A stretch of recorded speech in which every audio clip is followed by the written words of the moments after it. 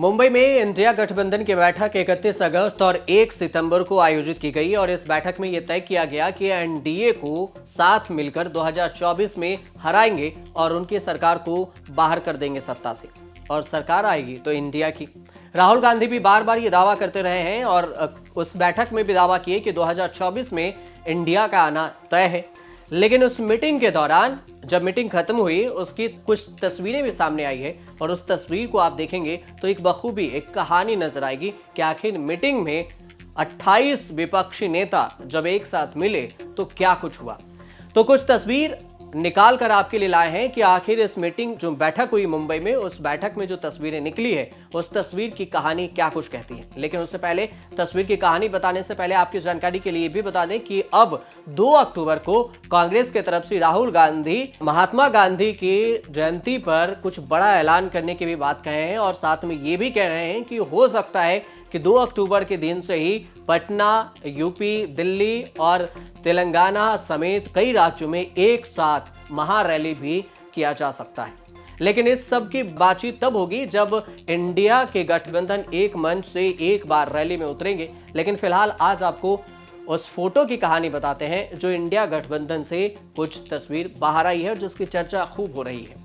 तो आज अभी पहले फ़ोटो देख लेते अब इस तस्वीर की बात करें, जो आपको स्क्रीन पे दिख रही होगी तो ये ममता बनर्जी और कपिल सिब्बल की तस्वीर है। कपिल सिब्बल, जिनके बारे में केसी वेणुगोपाल गुस्सा भी हो गए थे कि अचानक मुंबई में जब बैठक हो रही थी तो एक सितंबर को अचानक बैठक में पहुँच गए और फ़ोटो सेशन में शामिल होने लगे। हालाँकि इस तस्वीर को देखकर आप समझ सकते हैं कि टीएमसी नेता ममता बनर्जी से ही कपिल सिब्बल, जो पहले कांग्रेस में थे और उसके बाद वो सपा में शामिल हो गए।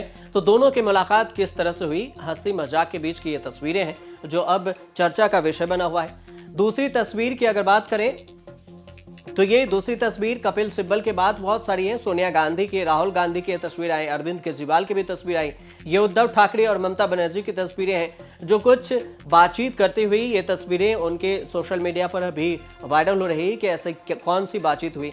उसके बाद ये नीतीश कुमार, सोनिया गांधी और राहुल गांधी, ममता बनर्जी की ये हंसता मुस्कुराता हुआ तस्वीर है कि ऐसी कोई मज़ाक हुई जिस वजह से ये हंसने लगे। हालाँकि क्या बातचीत हुई, ये मीटिंग से बाहर अभी नहीं आई है कि ऐसा क्या हुआ कि हंसने लगे। ये कपिल सिब्बल, शरद पवार की तस्वीर, ये महबूबा मुफ्ती की और डी राजा की तस्वीरें हैं जिसकी चर्चा हो रही है कि ये दोनों के बीच में खास बातचीत हुई। ये उद्धव ठाकरे जब खड़गे से बातचीत के बाद जो सोनिया गांधी से कुछ कहने के लिए बातचीत कर रहे थे तो सोनिया गांधी बड़े गौर से सुन रही थी, जिसकी भी चर्चा हो रही है और लोग कमेंट करके ये भी कह रहे हैं कि आखिर इन दोनों के बीच में बातचीत क्या हुई।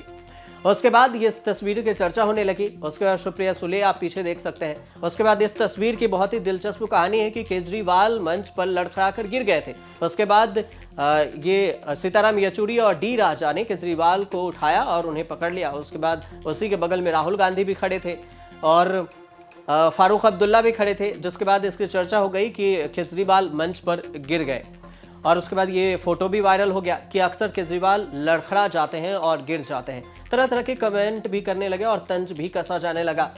आप इस तस्वीर में देख सकते हैं कि एक ये दूसरी बार से कई बार के मौका, ये खास मौका है जब ममता बनर्जी और सोनिया गांधी एक दूसरे को शॉल उठाकर और दूसरे मुलाकात की हो। अक्सर नहीं देखा गया है कि ममता बनर्जी और सोनिया गांधी की मुलाकात हुई हो और इस तरह से मुलाकात हुई हो कि बातचीत हो और हंसती रहे और उनको शाल उठाए ये देखिए, आप इस तस्वीर में देखिए, बगल में नीतीश कुमार, राहुल गांधी और बीच में सोनिया गांधी और ममता बनर्जी की बातचीत हो रही है। उद्धव ठाकरे उनके तरफ़ देख रहे हैं। ये इस तस्वीर की सबसे खास चर्चा है क्योंकि मल्लिका अर्जुन खड़गे कांग्रेस के अध्यक्ष हैं और उनके लेफ़्ट और राइट में सोनिया गांधी और राहुल गांधी खड़े हैं। आप इस वीडियो में भी देख सकते हैं कि कैसे खड़गे से बातचीत हुई थी और ये तस्वीर देखिए, जब केजरीवाल मंच से गिरने लगे थे तो उन्होंने डी राजा और सीताराम येचुरी ने उनको पकड़ लिया था ताकि वो गिरे नहीं। तो ये मंच की तस्वीर है, जब इंडिया गठबंधन के दूसरे दिन की बैठक समाप्त हुई एक सितंबर को मुंबई में तो इंडिया के 28 नेता एक मंच पर एक फ्रेम में फ़ोटो खिंचवाते नज़र आए और इस फ़ोटो सेशन के बाद में उनके बीच में यह तय किया गया कि 2024 में एनडीए को हराने के लिए कौन कौन से मास्टर प्लान तैयार किए जाएँगे, जिससे बीजेपी वाले एनडीए को परास्त किया जा सके। इसमें लालू प्रसाद यादव भी थे, हालाँकि इसके बाद प्रेस कॉन्फ्रेंस भी हुई, साझा प्रेस कॉन्फ्रेंस थी स्पीच भी थी। उसमें बताया गया कि लालू प्रसाद ने कई बार तंज भी कसा कि अब मोदी की बारी आ गई है, वो जा सकते हैं। मोदी को सूर्य ग्रहण पे भेज देना चाहिए और ये सबसे बड़ा उपलब्धि होगी। हालाँकि ये सब तंज था, लेकिन जो तस्वीरें वहाँ से उभर कर आई, ये कुछ तस्वीरें थी जिसकी चर्चा हो रही है और काफ़ी चीज़ कहा भी जा रहा है। लेकिन इंडिया गठबंधन अब पूरी तरह से तैयार हो चुकी है और 2024 चुनाव के लिए साथ में पाँच राज्यों में विधानसभा चुनाव है। इसी साल मध्य प्रदेश, तेलंगाना, छत्तीसगढ़ और राजस्थान, इन सब में भी चुनाव है और इसके लिए भी राहुल गांधी बखूबी खुद को अपने कार्यकर्ता को बब्बर शेर और शेरनी कह रहे हैं और कह रहे हैं कि ये तय है कि 2024 में मोदी जाएँगे और इंडिया की सरकार आएगी, इंडिया सत्ता में आएगी और जो भी वो झूठ बोलते हैं, झूठ बोल के दूसरे को फंसाते हैं, उनका हार भी निश्चित होगा और पीएम मोदी हर बार झूठ बोलते रहते हैं। तो इस तस्वीर की कहानी आपको कैसे लगी और इस तस्वीर में और अगर क्या कहानी थी जिसको मैंने आपको बता भी दिया तो इसके बारे में लोगों का क्या कहना है, ये भी आप बता सकते हैं, कमेंट कर बता सकते हैं। फ़िलहाल आप देखते न्यूज़ तक